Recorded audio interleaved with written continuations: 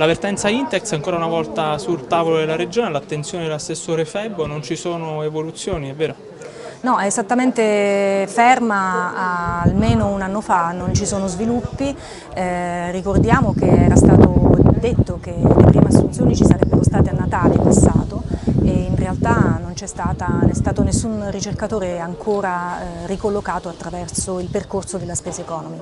Ecco, ci spiega meglio che significa quest'ultimo sì. percorso e soprattutto qual il, quale vi aspettate che sia il ruolo della Regione, perché spesso ci si rivolge alle istituzioni, ma sappiamo che eh, possono in molti casi fare ben poco.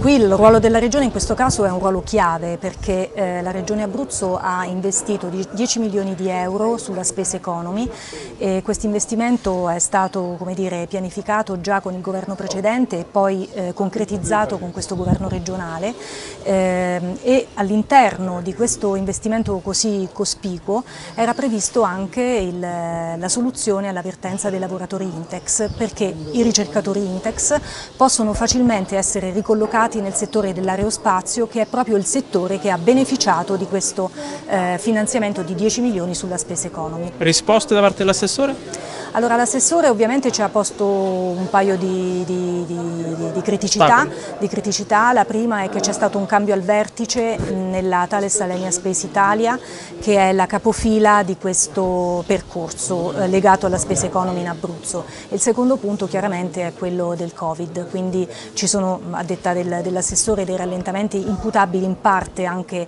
a questi, a questi temi, però noi riteniamo che eh, eh sia proprio importante che eh, la Regione possa svolgere un ruolo eh, conclusivo per concretizzare eh, la soluzione di questa vertenza. Grazie.